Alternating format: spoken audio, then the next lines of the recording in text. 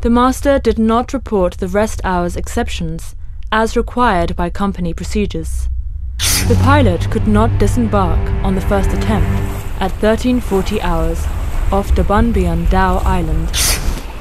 The southerly stream caught the vessel broad on, causing a rapid bodily drift of the vessel onto another anchored laden tanker, MT Victim.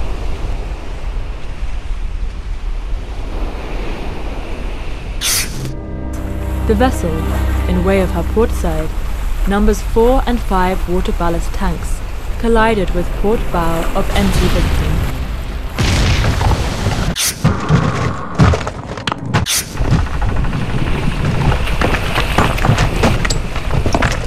The anchor cable of MT Victim became entangled with the propeller shaft of MT Accident, and this caused the starboard anchor to break away from the bitter end of MT Victim.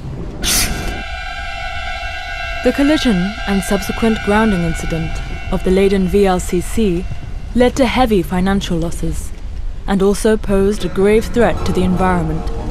Several attempts were made to tow the vessel to deeper water with the assistance of four harbour tugs. The starboard anchor could not be released from the bitter end due to very high tension on same.